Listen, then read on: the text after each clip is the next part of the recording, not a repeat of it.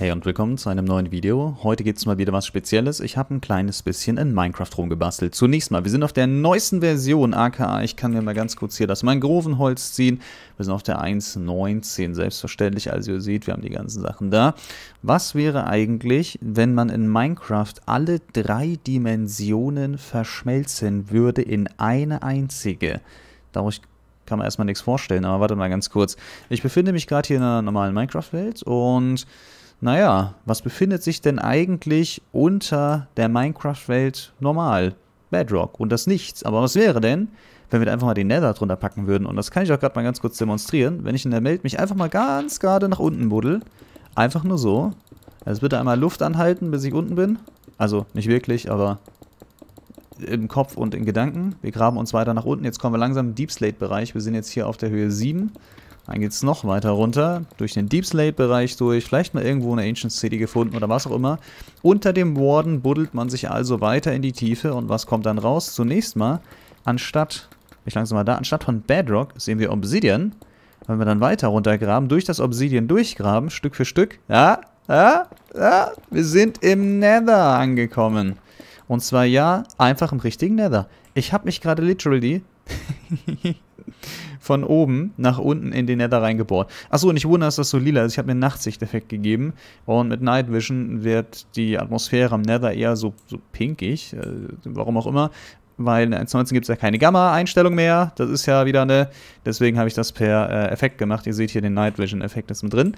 Und wenn ich dann einfach rausfliegen will, ist ja ist gar, absolut gar kein Problem. Wir können einfach rausdüsen und wir sind wieder in der ganz normalen Welt. Im Klartext heißt das, ich habe soeben Nether-Portale abgeschafft.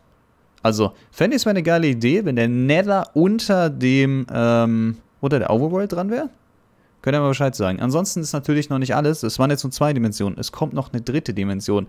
Und die allergroße Preisfrage ist, wo könnte man denn eine dritte Dimension entpacken, meine Damen und Herren? Na? Na? Na? ja, ich bin einfach ganz normal hier in meiner Welt und wir haben oben drauf die Enddimension gepackt. Und nein, damit meine ich nicht einfach nur hier so eine, so eine Endinsel hingeschmissen oder reinkopiert oder sowas, sondern ich meine wirklich die komplette Enddimension.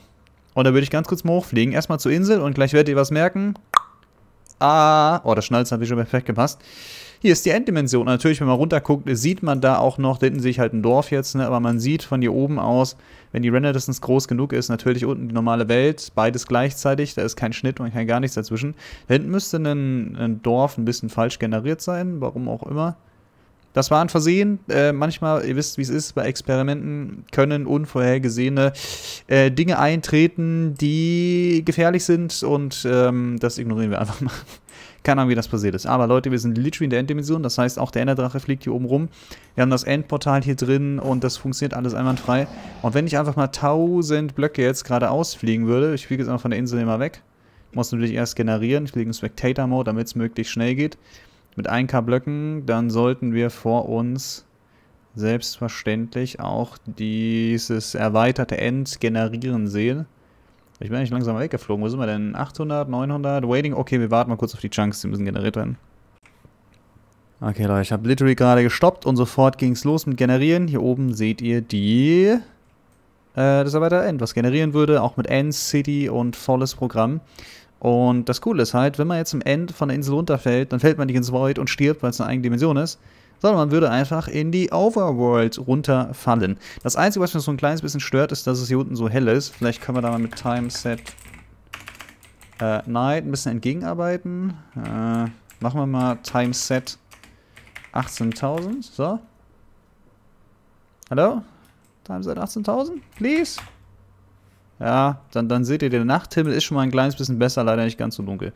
Vielleicht hätte man es ja so machen können, dass auch hier oben im End eigentlich nicht so dunkel ist, sondern so Nachthimmel die ganze Zeit. Dann, dann wäre es perfekt, glaube ich.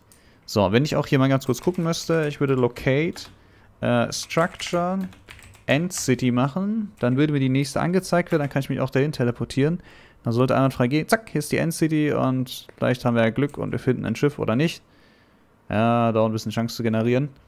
Schalker sind drauf, alles passt. Und dann droppe ich jetzt einfach gleich von der Insel auch mal wieder runter.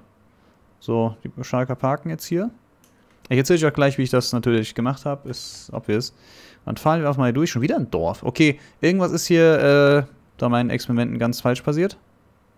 Interessanterweise ist die, die Location von der Struktur genau über der Location, unter der Location von äh, Dings, ne? Ihr seht schon, wie das hier aussieht. Ein bisschen quadratisch, aber äh, passt. Leute, wie kommen wir am besten zurück zu unserem Spawnpunkt? Ganz einfach, indem wir uns killen. Dann sind wir die ganzen 1000 Blöcke wieder zurückgeeiert und natürlich ist auch der Nachtsichteffekt jetzt weg. Das heißt, wir geben uns wieder äh, Night Vision mit einem Effekt dran. Dann können wir endlich was sehen und natürlich auch Time Set 5000, damit wir es eigentlich wieder Tag haben. Gut, äh, ich gucke mich ein ganz kleines bisschen um. Ich habe hier was vorbereitet noch, nämlich etwas weiter da hinten. Da habe ich mit so einem, wie, wie, so ein Förmchen mal die Welt ausgeschnitten, dass man auch nochmal den Querschnitt ganz gut sehen kann. Hier oben ist, wie gesagt, wieder die Endinsel. Und äh, ich habe das hier so gemacht, einfach mal komplett durchgebuddelt, durchgegraben. Und wisst ihr, was allergeilste war? Diesen Querschnitt, den ich gemacht habe. Der ist einfach literally, hat er einen Dungeon geteilt an der perfekten Stelle mit der Kiste und literally eine Geode perfekt geteilt, sodass man es gut sehen kann. Schön, oder? So, wie gesagt, das Pinke, nicht wundern, ist einfach nur der Nether. Das ist einfach ein flawless Übergang, Leute. Hier gibt es hier kein, kein Ruckler, kein gar nichts. Du kannst durchflattern, wie du lustig bist. Du kannst Mobs durchschicken oder sonst was. Ich kann mal ganz kurz hier... Da glaube ich hier mal ein Pig, ne? Das droppen wir. Einfach hier von hier oben in die Nether rein. Ich habe doch schon wieder Ideen, Leute. Ihr Pig fällt runter, kein Problem. Das marschiert einfach geradewegs runter. Ja, kleiner Ruckler an der Grenze, aber wisst ihr, wie es ist. Wisst ihr, was witzig wäre? Wenn wir so ein Schweinchen in den Nether schmeißen von oben, dann verwandelt sich das in einen Zombie-Piglin. Nur so als Idee. Oder einen normalen Piglin. Das, das wäre geil. Das, das, das wäre sehr, sehr schön. So, ähm, ja, nahtloser Übergang. Wie ist das passiert? Ganz einfach mit einer Modifikation. Wer hätte es gedacht? Nämlich, die haben wir schon in anderen äh, Videos gezeigt gehabt. Das war nur, wo ich hier ausgeschnitten habe, deswegen hier mit, mit äh, wo ich die Blöcke gelöscht habe, deswegen ist hier das Ding drin. Ähm, Immersive Portals. Und Immersive Portals kann ich einfach nur so Portale erstellen wo man so nahtlos von Nether zu Overworld gehen kann. Vielleicht habt ihr das schon ein paar Mal gesehen. Hier und da gab es ein Video zu. Ich finde die Mod irgendwie sehr, sehr cool und sehr, sehr begeisterungsfähig. Und äh, die hatten ein Feature drin, von dem ich jetzt nur per Zufall mitbekommen hatte, nämlich man kann Dimensionen stacken. Falls ihr es machen wollt, einfach Immersive Portal installieren. Ist für die 1.19 im Fabric drin. Äh, finde ich sehr geil, dass das fürs neueste Update ist. Und ich zeige mal ganz kurz, wie wir das auch hier erstellen können. Ähm, und äh, dann könnt ihr auch komplett auf Nether-Portale verzichten und auf ähm, äh, Endportale ebenfalls braucht ihr da nicht mehr. Zunächst mal, ihr geht auf Create World, ganz normal Creative einstellen, bei More World, Option, More, More World Options einfach Dimension Stack eintippen und enablen und dann habt ihr jetzt hier einfach euer Menü. So, und das Einzige, was ich gemacht habe, ich habe jetzt hier auf Add geklickt und ich habe einfach oben an meine Dimension was dran gepackt. Also ich äh, könnte zum Beispiel, hier gibt es auch ein paar andere Sachen, die man dran setzen könnte, eine Chaos World oder sowas. Können wir aus Spaß einfach mal machen, confirm und dann drage ich die einfach mal ganz nach oben oder so. Und dann, übrigens, ich habe noch einen The Void dazwischen gehabt. Was ich gemacht habe, ich habe hier das Overworld Skyland durch End ersetzt und dann habe ich The Void, Overworld, Nether. Damit das Enden nicht so dicht über der normalen Weltoberfläche schwebt, habe ich nochmal so eine Void-Welt dazwischen gepackt. Deswegen ist das so richtig weit oben der Luft nur. Finde ich aber ist ein bisschen plausibler. Du könntest mit Elytra von unten nach oben fliegen, von oben nach unten fliegen. Äh, das wäre super praktisch, einfach von der Dracheninsel zurück in deine Base oder so, ohne durch irgendwo durchgehen zu müssen. Einfach von der Insel wegjieten. Und wenn du stirbst, stirbst du halt in der Overworld. Dann kannst du deine Sachen easy wiederholen. So, das können wir mal ausprobieren. Dieses Skyland mache ich mal Remove. Sachen, die ihr nicht haben wollt, macht mal Remove. Ich mache mal die Chaos World. Die, bei mir hatte ich halt das End. Finish, Generate, fertig. Die komplette Welt ist da, ihr könnt euch nach unten buddeln, seid ihr im Nether, könnt nach oben gehen und ihr seid in einer Sky-Welt oder am End oder was auch immer und ich fand das mal irgendwie sehr, sehr, sehr, sehr, sehr cool. Das spielt so ein bisschen mit dem Kopf und ich sage euch eins, hätte man diese Modifikation einem Spieler gezeigt von vor, keine Ahnung, 5, 6, 7, 8 Jahren oder so, wo auch schon Minecraft-Mod-Projekte und ähnliches hatten, Megabyte-Zeiten damals und ähnliches. Leute, die hätten gedacht, was zur Hölle, das ist ja übelst krass. Ü übelst krass, übelst krass. Ich weiß nicht, habt ihr die Mod vorher schon mal gesehen? Immersive Portals, safe, aber auch die Funktion, dass das hier äh, geht. Ihr seht doch hier, Dimension Stack Worlds Initialize, hat funktioniert. Aus irgendeinem Grund werden äh, Strukturen, fällt ein Village herunter. Äh, über dem Dorf wurde noch ein weiteres Dorf jetzt hier generiert. Warum auch immer an der, an der Grundebene hier. Ah, wahrscheinlich, weil es eine Void World ist. Weil, weil das auf dem Boden der Void Worlds können die Strukturen generieren. Das erklärt's. Ja, moin. So, und jetzt haben wir halt hier oben eine absolute Chaoswelt. Die sieht echt ein bisschen weird und chaosmäßig aus. Holy. Aber wie kommt man denn drauf, das so ganz weird zu machen? Teilweise äh, Ordnung in der Unordnung. Schau euch das mal an hier. Ja, kann man machen. Okay, äh, das, das ist jetzt auch nur ein Beispiel. Wie gesagt, ihr könnt hier andere Dinge machen. Ey, voll viel äh, Diversity hier.